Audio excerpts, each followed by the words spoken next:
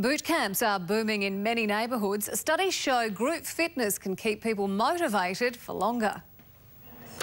They're up before the sun, lifting, stretching and lunging their way to good health. And they might be onto something. That's it, squeeze, come on, all the way.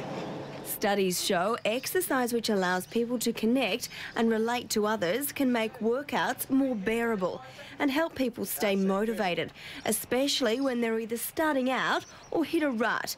That's why Kylie Christensen keeps coming back. It's because we start at six, home by seven. Um, still got time to get the kids brekkie, get them organised off to school, get ready for work and go. A national survey shows about 15% of Australians don't do any physical activity. A lack of time is the number one reason. That used to be Kylie Christensen. So absolutely not fit, did no exercise. Now a 6k run is no big deal. Participants say they're fitter and stronger than when they started. What do you guys reckon?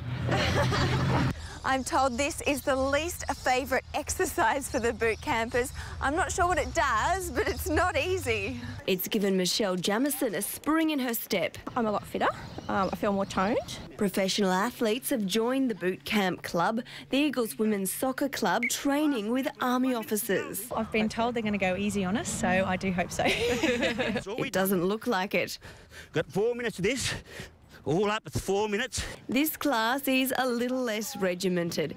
Kylie Christensen swears she enjoys it. My kids have got a bit older, they were a bit more independent, and it was me time. Though she admits this is the best part of the class. Well done, guys.